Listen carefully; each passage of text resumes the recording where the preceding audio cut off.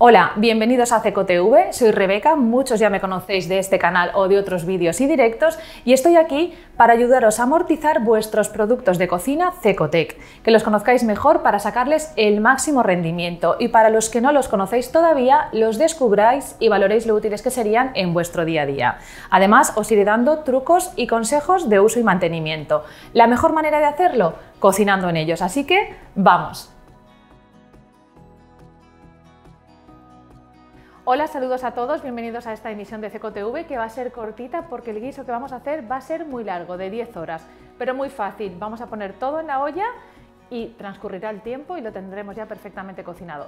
Va a ser un caldo de cocido, pero hecho a baja temperatura. Nos estabais pidiendo que hiciéramos alguna receta en Slow Pot. Esta es la cubeta Slow Pot que es eh, compatible con todos los modelos de ollas GM de 6 litros de capacidad. ¿eh? Casi todos las antiguas eh, G, la H, la H Deluxe, la H Deluxe Fry, como la que tengo aquí, en todos estos modelos es compatible la Slow Pot, que la podéis comprar dentro de la página web de Cecotec, eh, está dentro de la categoría de las ollas, dentro de cocina, pues tenéis la opción de, tenerla y si no tenéis olla, tenéis también promo packs en los que vienen eh, algunas ollas con más de una cubeta. Bueno, pues esta olla nos sirve para cocinar a baja temperatura y es ideal para el menú de fuego lento que tiene programado ya la olla y que cocina a 90 grados. ¿eh? Es decir, esta olla es para cocinar por debajo de los 100.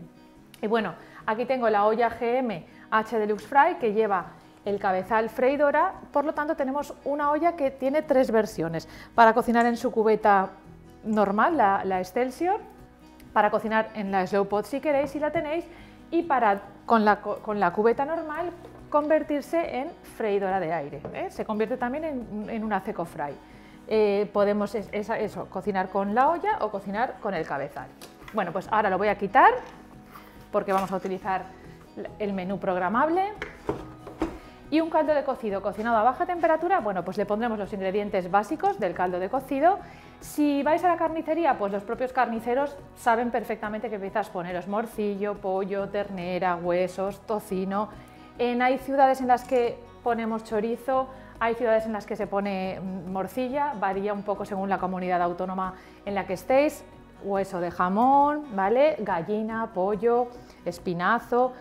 Hay comunidades también como la valenciana y catalana que ponen eh, lo llamado pelota, ¿eh? que es como una carne picada, tocino, bueno, pues todo el tipo de carne y si no tenéis, si no vais a comprar a una carnicería de barrio y lo hacéis en grandes superficies o supermercados, pues sabéis que tenéis también las bandejitas ya con, el preparado para, cocido. ¿eh? Lo pone, os lo ponen ya todo preparadito para que no tengáis que pensar. Y suele haber también bandejitas extras con huesos por si queréis poner más cantidad. Bueno, pues ya yo he puesto todo lo que es la carne, los huesos y a continuación añadiremos las verduras. También dependiendo de las comunidades varían un poco, pero generalmente llevan patata, zanahoria, apio, puerro, chiribía, nabo y en este caso también nabo blanco, ¿eh? un poquito de todo. Y para terminar, pues los garbanzos. Los garbanzos, importante que los pongáis a remojo 12 horas antes, es decir, la noche anterior de hacer el, cocido, el caldo de cocido, los ponéis a remojo en agua y con una cucharadita de bicarbonato mejor. Eh, por, la web venden bolsitas así rejillas que podéis poner si queréis para, digamos, que los garbanzos no se desperdiguen por todo el caldo y luego sacarlos y tenerlos cocinados y tenerlos por separado más fácilmente. Bueno, pues ya tenemos nuestra cubeta llena. Ahora únicamente nos faltará ponerle bien de agua hasta arriba, como vamos a cocinar a baja temperatura y no vamos el caldo no va a llegar a ebullición, pues podemos llevarlo hasta Vamos a verter agua.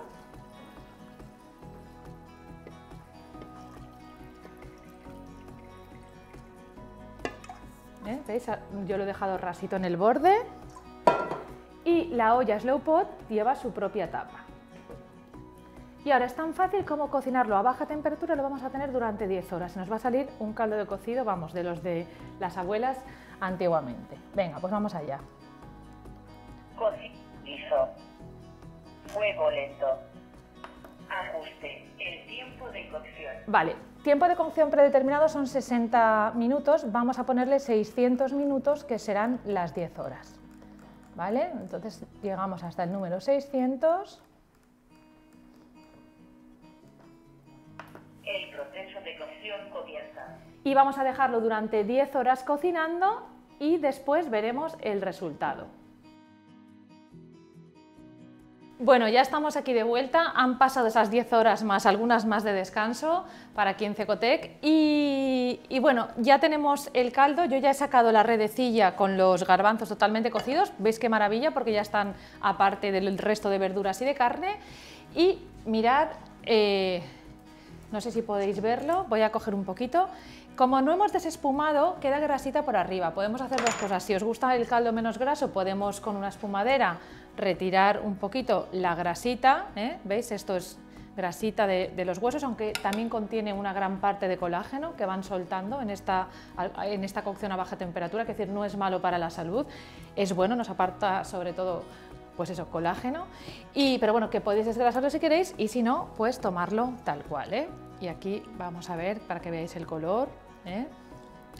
de este caldo. Bueno, como se ha enfriado, ya tiene la grasita así, una vez se calienta de nuevo, ¿eh? se, disuelve.